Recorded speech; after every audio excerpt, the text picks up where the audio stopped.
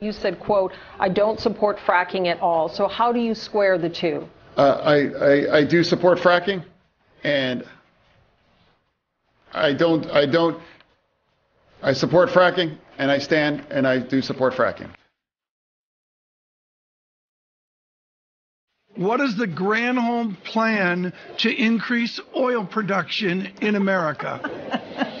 oh my God, that is hilarious. That's a great asset. More inflation. What a stupid son of a bitch.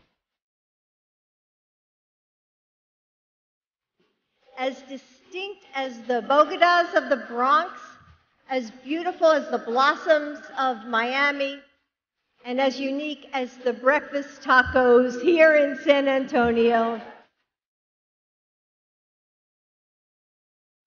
When I hear people talk about inflation, as I heard him there, we have to change that subject. Inflation is a global phenomenon. We all believe that when we talk about the children of the community, they are a children of the community.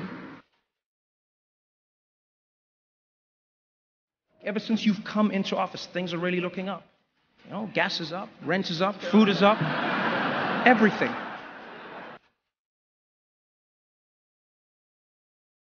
The percentage of women who register to vote and cast a ballot is consistently higher than the percentage of the men who do so. End of quote. Repeat the line.